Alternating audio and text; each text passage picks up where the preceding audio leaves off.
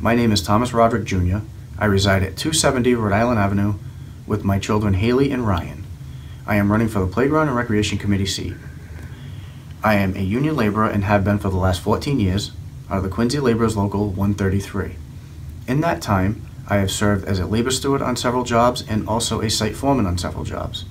And most recently, I was selected as judge of elections in our union's last executive board election.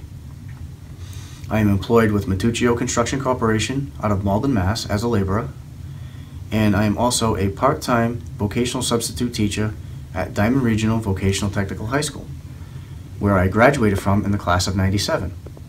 Since graduating from Diman, I've been an active member with the Alumni Association, assisting in and also running several fundraisers for the Perpetual Scholarship Fund for the students.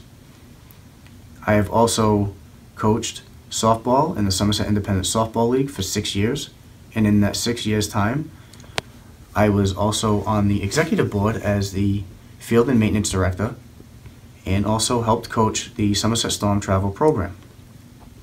I've coached with the Somerset Baseball League for three years, and I have also now coaching South Coast Mayhem Girls 14U travel softball team. It's always been about the kids for me. Kids first and foremost, nothing more, nothing less. Everything I do is geared to them to see that they have a good time, they have fun, and they learn something. That's why I'm hoping to be elected to the Playground and Recreation Committee.